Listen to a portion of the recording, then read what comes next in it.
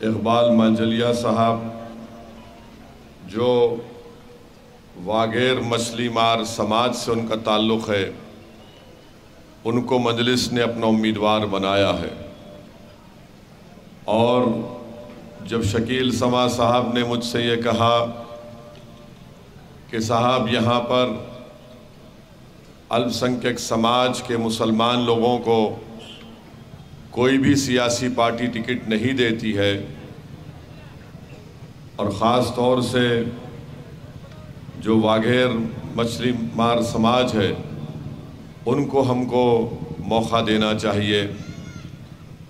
तो मैंने फ़ौर कहा कि यकीनन हमारे कैंडिडेट इकबाल मंजलिया साहब एडवोकेट को बनाइए, क्योंकि हमारी पूरी कोशिश यही है कि जो कमज़ोर हैं, जिनको बेज़ुबान कर दिया गया, जिनको और कमज़ोर बनाने की कोशिश हुकूमतें करती हैं, चाहे वो कोई मुसलमान हो, हिंदू हो, या दलित हो, या आदिवासी हो, हमारा एक ही मकसद है कि जो कमज़ोर है, वो मेरी आँखों में मज़बूत है।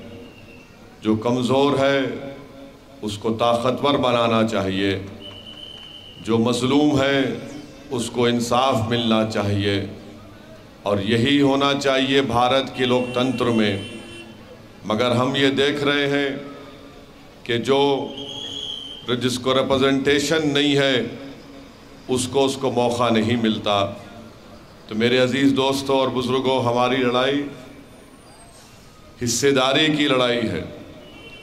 और आप जानते हैं कि पड़ोस में अंजार एक विधानसभा है, वहाँ पर कोई भी सियासी पार्टी हमारे अहीर भाइयों को ही टिकट देती है। और अगर नहीं देती तो उनमें इतनी ताकत है कि वो दूसरे उम्मीदवार को हरा देते हैं। अब आप बताइए कि हम पर जो इल्ज़ाम लगता है फ़िरका परस्ती का कि ओवैसी एक समुदाय की बात करता है तो फिर अंजर विधानसभा से आप किसी वागैर मछली मार समाज को टिकट देना था वहाँ से? नहीं देंगे। इस पर भाज, भाजप भी, कांग्रेस भी इस बात पर मुतफ़ है कि वहाँ पर आहिर समाज के, मुझे बताया गया कि करीब सत्तर हज़ार उनके वोट हैं। और अल्पसंख्यक समाज मुस्लिम अकलीत के कुछ सिक्सटी सेवन थाउज़ेंड है। तो मेरे अज़ीज़ दोस्तों और बुज़ुर्गों, मेरी इस बात को समझिए कि जब से भारत के प्रधानमंत्री नरेंद्र मोदी बने हैं, उन्होंने गुजरात का मॉडल पूरे मुल्क पर लागू कर दिया है। और भारत की राजनीति में जो सबसे कमज़ोर है बल्कि मैं तो आज कहूँगा कि दलितों से भी कमज़ोर अगर कोई है इस देश में तो अल्पसंख्यक समाज मुसलमान है। आदिवासी सबसे कमज़ोर है। उसके बाद अल्पसंख्यक समाज भारत की सबसे बड़ी अकलीत का नंबर आता है। और मैं ज़िम्मेदारी के साथ कह रहा हूँ, गरीबी में सबसे ज़्यादा गुर्बत आदिवासियों के बाद अल्पसंख्यक समाज मुसलमान के पास है। स्कूलों से बच्चे अगर ड्रॉप आउट रेट है। हमारे आदिवासी भाइयों के बाद तो मुस्लिम माइनॉरिटी हैं। सबसे कम ग्रेजुएट अगर हैं, मुस्लिम समाज के हैं। सबसे ज़्यादा out of school children drop out rate है तो अल्पसंख्यक समाज मुसलमान के आदिवासियों और दलित के बाद। ये इसलिए होता है क्योंकि सियासी ताकत नहीं है।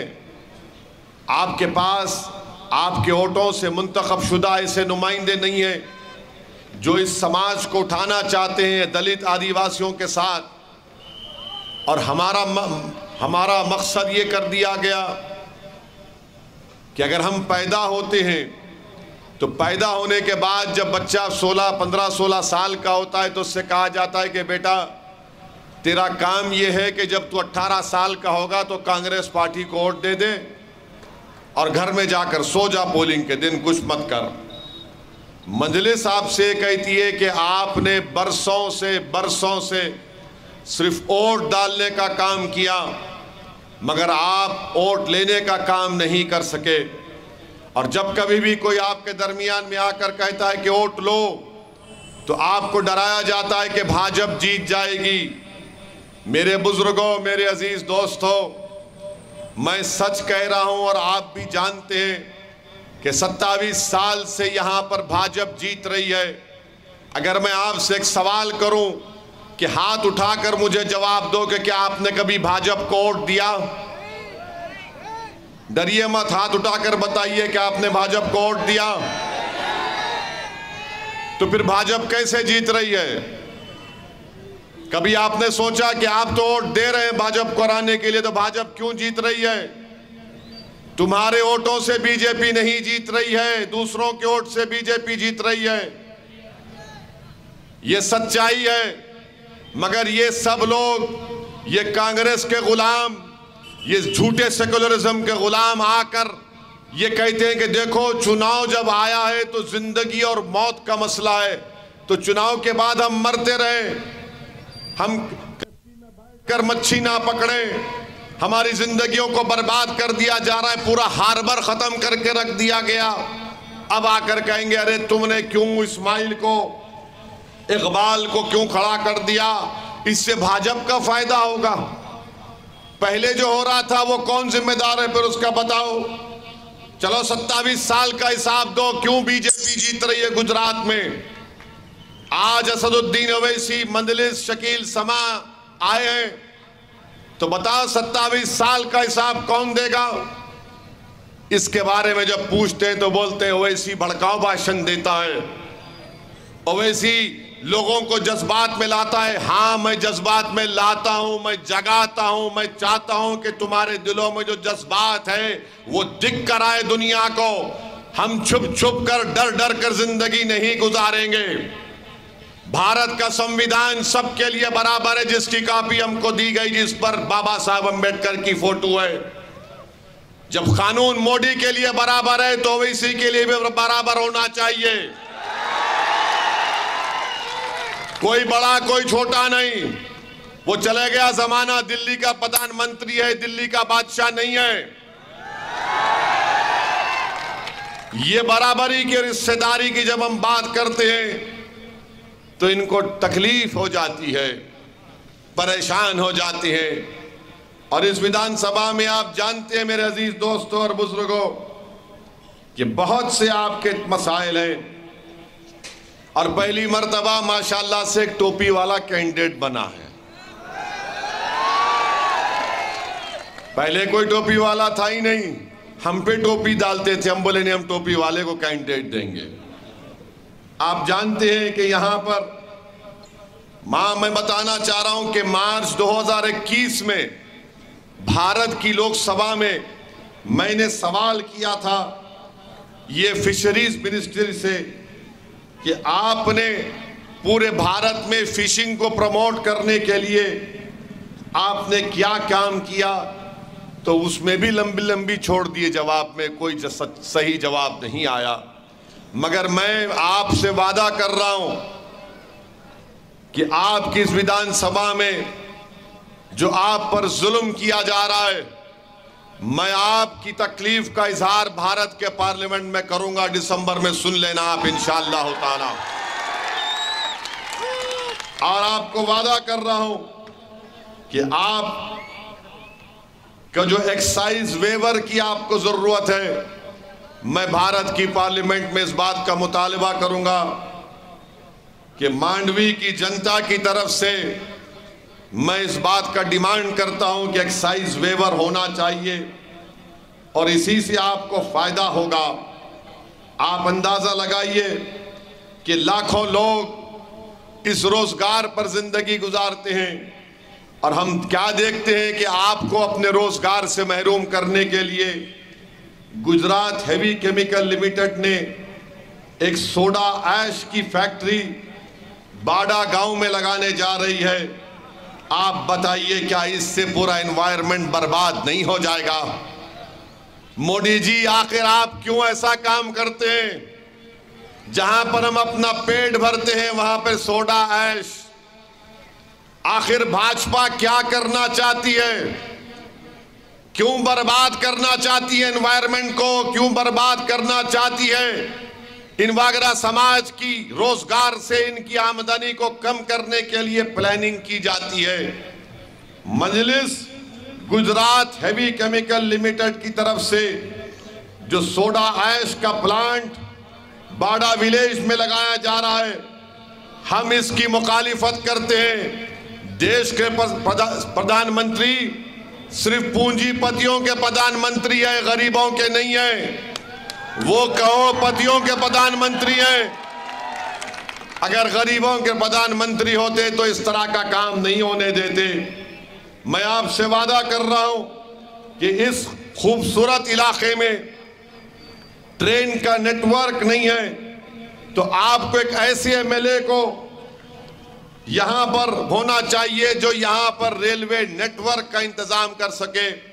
मैं आपसे वादा कर रहा हूँ कि इंशाला ताला दिल्ली की पार्लियामेंट में जाकर मैं इस रेलवे नेटवर्क का भी मुतालबा करूँगा आपके लिए।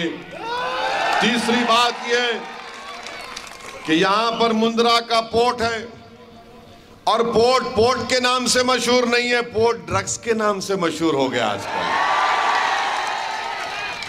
इतना ड्रग कहाँ से आ रहा है? कहाँ से आ रहा है इतना ड्रग तो मेरे अज़ीज़ दोस्तों और बुज़ुर्गों, आप जानते हैं कि ये कच्छ का इलाका है।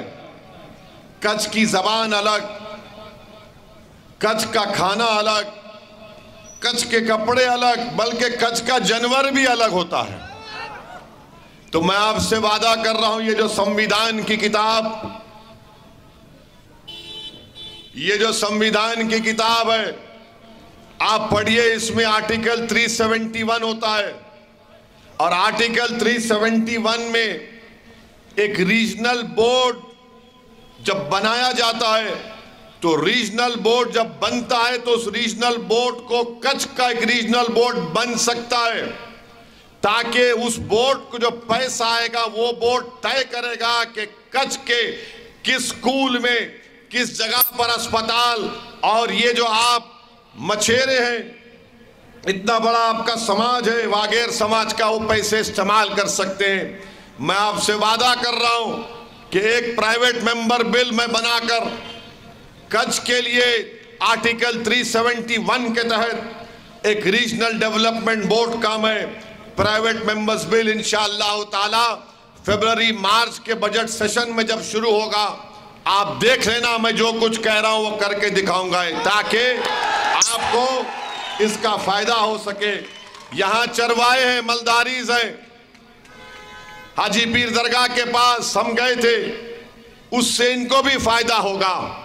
तो इनशाला ताला, आपकी जबान का भी प्रोटेक्शन मिलना चाहिए, कच्ची जबान का प्रोटेक्शन भारत के संविधान के शेड्यूल में उसको इंक्लूड कराना चाहिए। ये मजलिस एक प्रोग्राम लेकर आगे बढ़ रही है। मेरी आपसे गुजारिश है कि आप इकबाल मंजालिया साहब को अपनी भरपूर तायद करिए, उनको वोट दीजिए, उनको कामयाब करिए। अब रहा सवाल कांग्रेस पार्टी का। तो माशाल्लाह से कांग्रेस पार्टी तो हमारी बहुत हमसे दुश्मनी करती है।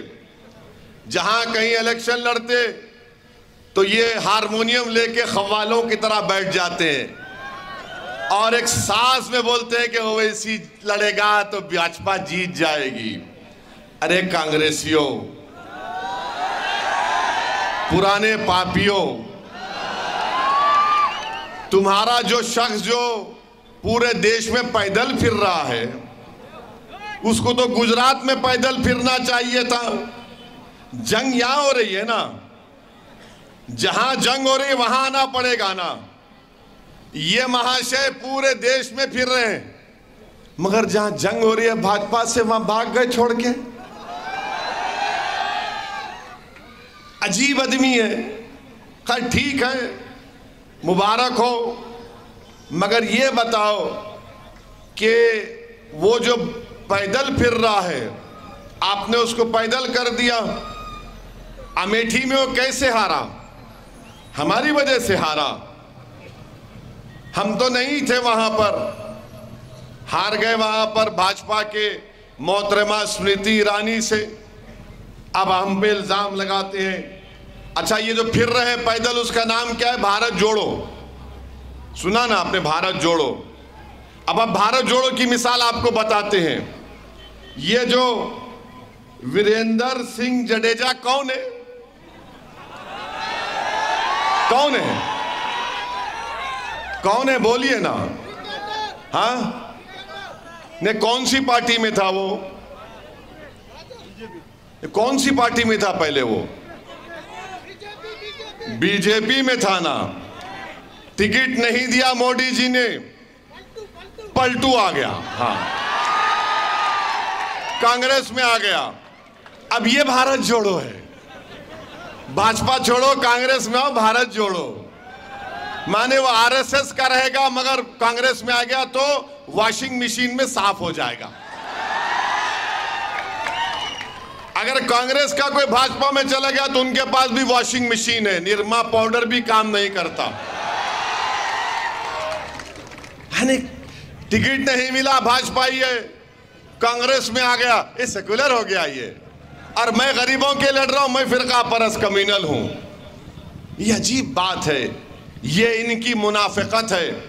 ये इनका दोहरा चेहरा है कांग्रेस का और भाजपा का। अच्छा जो भाजपा के कैंडिडेट हैं, अनिरुद्ध दवे साहब तो उन्होंने उन्होंने कहा कि मैं ब्राह्मण हूँ, मैं मुसलमान हूँ, क्या है बोलो? बोला ना उन्होंने, मैं ब्राह्मण हूँ तो कोई मीडिया वाले कुछ नहीं बोले। अगर मैं बोलता कि मैं मुसलमान हूँ तो बोलेंगे, भड़काओ भाषण दिया इसने। माने ब्राह्मण बोलना गुनाह नहीं है तो मुसलमान बोलना भी गुनाह नहीं है। सुनो भाजपा के अनुरूप दवे तुम ब्राह्मण है, मैं मुसलमान हूँ, क्या बुरी बात है? मगर उन्होंने कहा कि अजमल कसब अबे अजमल कसब गुजरात के चुनाव में कहाँ से आ गया? अजमल कसब का ज़िक्र किया ना। ये अजमल कसब कहाँ से आ गया? अरे अजमल कसब का ज़िक्र करके तुम क्या पैगाम देना चाह रहे हो? और अजमल कसब के ताल्लुक से सुनो भाजपाइयों जब अजमल कसब को फांसी दी गई थी जिसने मासूम हिंदुस्तानियों को अपनी गोली से कत्ल किया था, दहशत गर्द। वो अजमल कसब जब फांसी पर चढ़ाया गया, उसकी लाश को मुंबई के खबरस्तान के लोगों ने कहा, ये मुसलमान नहीं है, इसको हम खबरस्तान में जगह नहीं देते। ये भी तो बोलते ब्राह्मण साहब। मगर मुसलमान बोल रहा है ओवैसी आपको। अब पुलिस बोलेगी, इसकी तकरीर में देखो, कुछ मिलता क्या? अगर मेरे पे केस बुक होगा तो अनिरुद्ध पर भी केस बुक होना चाहिए। ये तारीख है अजमल कसब को जब फांसी दी गई थी, वारिस पठान कहा है? कब्रस्तान में जगह नहीं दिए बोले, इसको हमारी भारत की ज़मीन में हम दहशतगर्द को दफन होने नहीं देंगे। ले जाकर कहाँ फेंके, नहीं मालूम अजमल कसब को शायद समंदर में फेंक दिए होंगे। मगर इनको क्या ज़रूरत है अजमल कसब की बात करने की? अरे, तुम ये बताओ, वो जो पोर्ट पर ये वाघेर मच्छी मार समाज को जो तकलीफ़ कौन दे रहा है? क्यों उनको हटाया जा रहा है वहाँ से? क्यों उनको रोज़गार से महरूम कर दिया जा रहा है? मेरे अज़ीज़ दोस्तों और बुज़ुर्गों, मेरी आपसे गुजारिश है कि आप इकबाल मंजलिया साहब को अपना वोट देकर इनको कामयाब करें। सत्तावीस साल से भाजपा की हुकूमत है और भाजपा ने गुजरात के लिए कुछ नहीं किया। बड़ी बड़ी बातें करते हैं। मोदी जी बोलते हैं कि मैंने गुजरात को बनाया। मोदी जी, मैं फिर से कह रहा हूँ, अगर आपने गुजरात को बनाया तो आपने पूरे गुजरात को बना दिया। क्या बना दिया आपको मालूम? मगर मोरबी का ब्रिज भी मोदी ने बनाया था। मोरबी का ब्रिज भी मोदी जी आप ही बनाए थे। अच्छा आपको मालूम उसमें 140 लोग मर गए। 50 बच्चे थे, जिसमें एक ढाई साल का बच्चा भी मर गया। और वो कंपनी क्या ओरोविक और कोई कंपनी का नाम है, ओरोविक जो भी नाम है, उसका ओरेवा। हाँ ओरेवा कंपनी। उसके मालिक को मोदी जी हाथ नहीं लगाते। उसको कुछ नहीं करते मोदी जी। किसको पकड़े? वो जो गरीब बच्चे दिन में सौ रुपये के लेबर पर काम करते हैं, उनको ले जाकर जेल में डाल दिए। वाह, दिल्ली के बादशाह, आपका क्या इंसाफ है कि जो बड़ा करोड़पति है, उस पर आप रहम दिल और जो सौ रुपये के लिए अपना पेट काटता है, वो जेल में बैठा है। ये हकीकत है, ये सच्चाई है। और वो म्यूनसिपल कॉरपोरेशन का जो कमिश्नर है, वो भी बैठा है। घर में बैठा है आराम से, और जिन परिवारों के लोग मर गए, वो आज भी अपने बच्चों को याद करके रोते हैं। आज भी याद करके रोते हैं। मुझे फ़ोन करके बोलते हैं कि, ओवैसी, हमारी आवाज़ को उठाओ। गुजरात में कोई हमारे लिए नहीं लड़ रहा है। कम से कम तुम तो अपने भाषण में बोलो कि हमारे मरने वालों को इंसाफ कब मिलेगा। तो बताओ भाजपा वालों मोरबी में जो लोग मर गए उनको इंसाफ कब मिलेगा? अरे कैसा इंसाफ तुम्हारा? जब खेडिया गाँव में, गरबा में पत्थर फेंकने के इल्ज़ाम में आपने चार या पाँच बच्चों को पकड़ा तो फ़ौरन उनको जनता के सामने लाकर, आपने उनको बीच रोड पर लाकर उनको लठों से मारा। मोदी जी लट पर मार खाने का नाम किसका लिखा है? क्या सिर्फ़ असदुद्दीन ओवैसी को लट मारेंगे? पत्थर फेंकने के इल्ज़ाम में या जो औरवा कंपनी का मालिक जिसकी वजह से 140 लोग मर गए, उन पर लट नहीं चलेगी। उन पर मोदी जी फूल बरसा रहे कि बहाओ, फूल बरसाओ। मेरा महबूब है ये। जो गरबा में पत्थर फेंके रोड पर लाकर जनता के सामने उनकी बेजती की जाती है, क्योंकि उनका नाम ओवैसी है। वाह मोदी जी क्या इंसाफ आपका गुजरात में है भाजपा का कि 140 लोग मर जाते हैं तो उस पर फूल बरसाए जाते हैं और जो पत्थर फेंकने का उस पर इल्ज़ाम है, कोर्ट ने तय नहीं किया उसका जुर्म, उस पर रोड पे लाकर लाठियाँ मारी जाती हैं। वाह, ये क्या गुजरात आपने बनाया है भाजपा ने। एक मासूम बच्ची है, जो हामिला थी, प्रेग्नेंट थी जिसका नाम बिल्किस बानो था। बिल्किस बानो को छह महीने की प्रेग्नेंट तीन साल की बेटी, परिवार के ग्यारह लोग, जिसमें उसकी माँ शामिल, सबका रेप किया गया। बच्ची तीन साल की बेटी को, एक माँ के सामने तीन साल की बेटी को कत्ल कर दिया गया। उसकी माँ का रेप करके कत्ल कर दिया गया। कोर्ट ने सजा दी। तो मोदी जी ने कहा, संस्कारी है ये लोग, हम इनको छोड़ देते हैं। मोदी जी, बिल्किस से आपको क्यों मोहब्बत नहीं है, हमको बताओ। क्यों मोहब्बत नहीं है भाजपा को, बिल्किस से?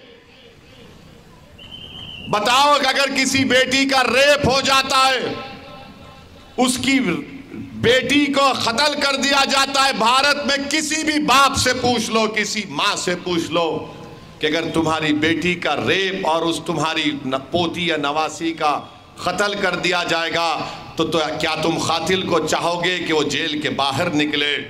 तो हर माँ और हर बाप कहेगी कि जिस जालिम ने मेरी बेटी से और मेरी नवासी या पोती से हरकत की उसको जेल में रहना चाहिए।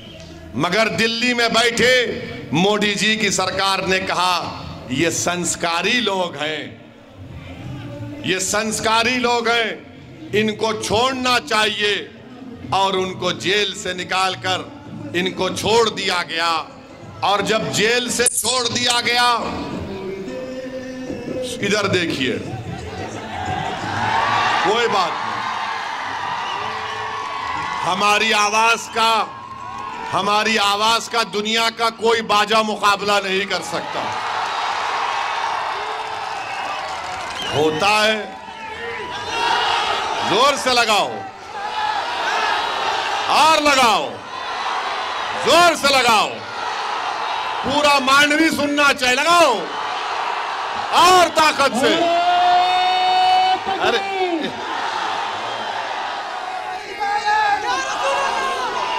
हाँ अब वो गलती किया, बाजा बजा के उसने। उसका ही बाजा बज गया अभी। हमारी म्यूज़िक का मुकाबला मोदी जी भी नहीं कर सकते। बहरहाल अज़ीज़ दोस्तों, मैं ज़िक्र कर रहा था बिल्किस बानो का। आज गुजरात और देश की सरकार ने बिल्किस बानो से नाइंसाफ़ी की और उसको छोड़ दिया। आप बताइए, नरोडा पाटिया 2002 वो आदमी ने नव्वद मुसलमानों का कत्ल किया। नव्वद। उसको मोदी जी ने, वो जेल से निकलता है तो वो नरोडा पाटिया विधानसभा में जनता के सामने जाकर मोदी जी का फ़ोटो दिखाता है और कहता है, मोदी जी के नाम पर मेरी बेटी को वोट दे दो। कभी मोदी जी, आपने सोचा कि मरने वालों की बेटियों का क्या होगा? कभी भाजपा ने सोचा कि वो नव्वद जो लोग मर गए, उनके परिवार पर क्या गुजरती होगी जब एक कातिल गुजरता है उनके सामने से? मेरे अज़ीज़ दोस्तों और बुज़ुर्गों, ये भाजपा बेजती करना चाहती है, मगर ओवैसी आपसे कहता है कि अल्लाह इज़्ज़त देने वाला है आपको इन ताला। अल्लाह इज्जतों से नवाजेगा आपको। जो लोग इस तरह की हुकूमत करके जिल्लत और रसवाई हमारा मुकद्दर बनाना चाहते हैं, याद रखो, इकतदार हर एक के पास नहीं रहता। इंदिरा गांधी भी प्रधानमंत्री थी, राजीव गांधी भी थे, नरसिम्हा राव भी थे, मगर हर कोई प्रधानमंत्री और इकतदार पर नहीं रहता। ताकत हमेशा किसी के पास नहीं रहती है। अल्लाह इंशाला ताला इकतदार को बदलेगा। इज़्ज़त हमारे मुकद्दर में आएगी। दुनिया की कोई ताकत हमको नोक नहीं पाएगी। बस आपसे गुजारिश ये है कि अपने हिम्मत और हौसले को बुलंद रखो। डरने और घबराने की ज़रूरत नहीं है। भारत का संविधान हमारे लिए है। अंबेडकर बाबा साहिब का बना हुआ संविधान है। हमको हिम्मत और हौसले को बुलंद रखना है। और एक ताकत बनो ताकत सिर्फ़ तकारीर से ताकत नहीं बनती, जमहूरियत में ताकत इतिहाद से बनती है। जमहूरियत में ताकत मुतहदा वोट डालने से बनती है। जमहूरियत में ताकत जब आप यहाँ से हमारे कैंडिडेट को कामयाब करेंगे, वो आपकी ताकत होगी। सिर्फ़ तकारीर से ताकत नहीं पैदा होती मेरे भाई, सिर्फ़ तक जज्बाती तकारीर से आपसे इंसाफ नहीं होता। आपका काम यह है कि मेरी इन बातों पर गौर करिए। अगर मेरी इन बातों में सच्चाई है तो मेरा साथ दीजिए।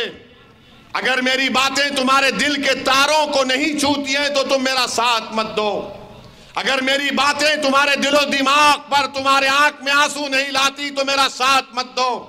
मगर एक बात का यकीन कर लो कि मैंने जो कुछ तुम्हारे सामने कह रहा हूँ और जब तक मेरी ज़िंदगी बाकी रहेगी, कहता रहूँगा, एक एक बात सच्चाई पर मुबन्नी है। मैं सच और हक को तुम्हारे सामने बयान कर रहा हूँ। मुझे कोई संतरी और मंत्री बनने से मेरे ज़िंदगी का मकसद नहीं है।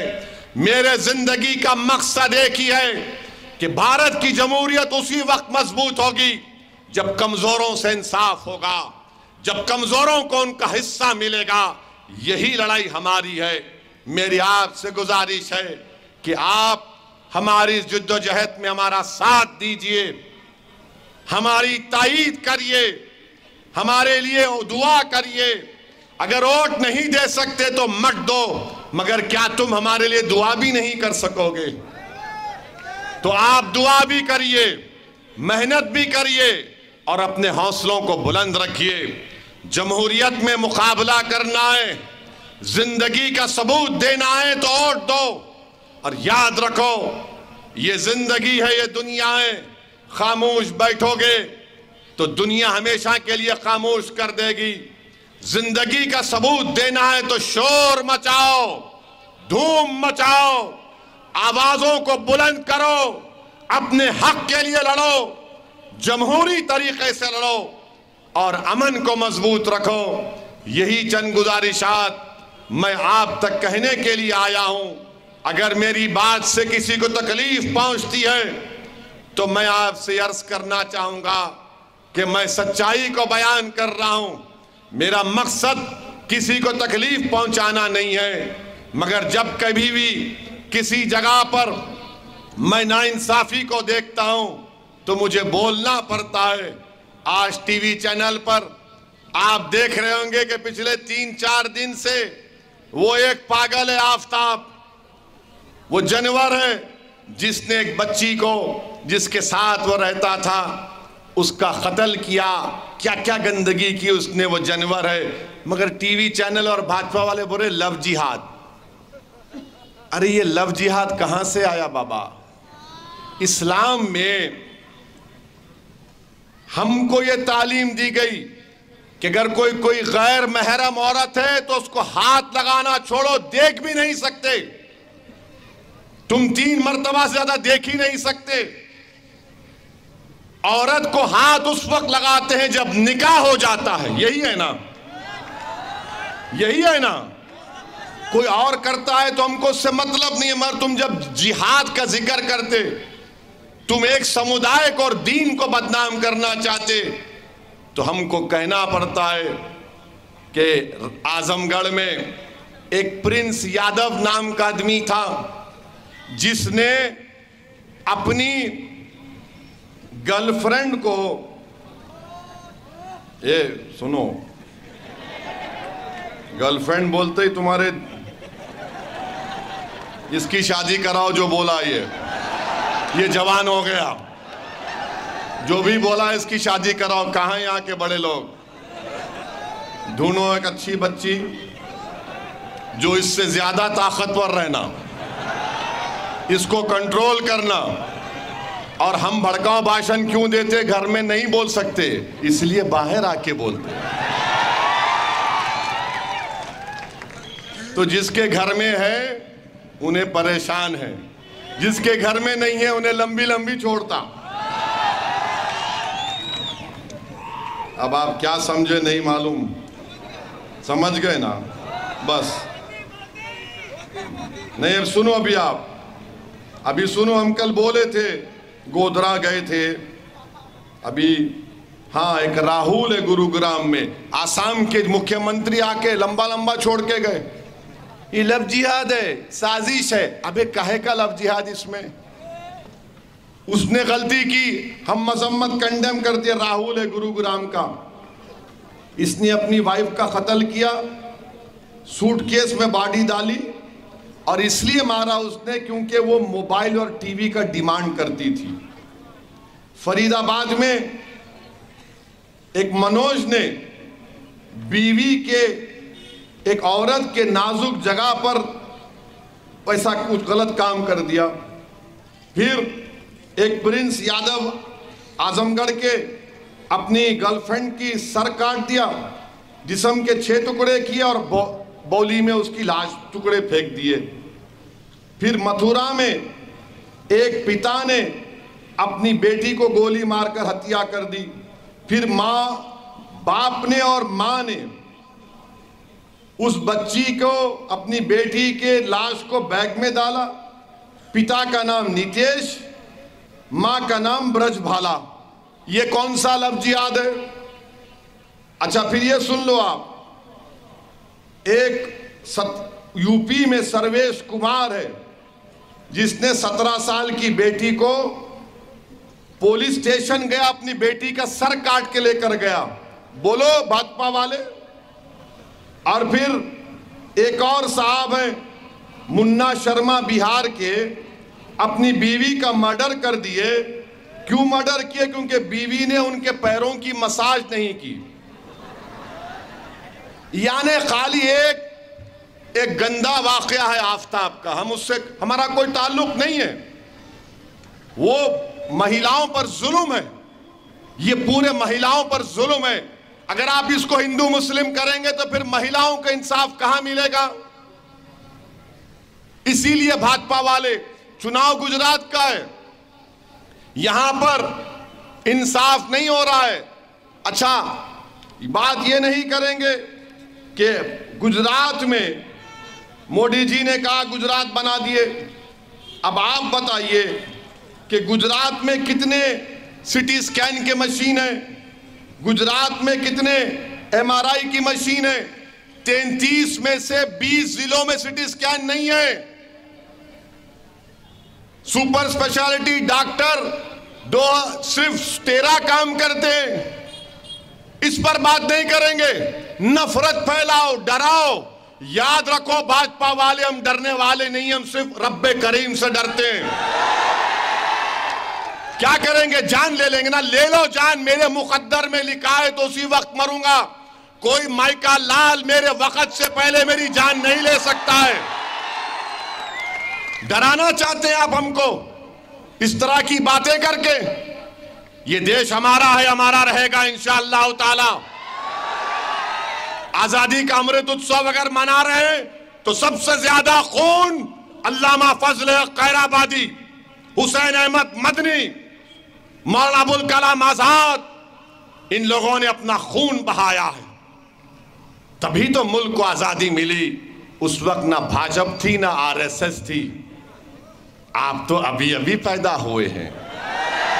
हम दो सौ सत्तावन से हम लड़ रहे हैं।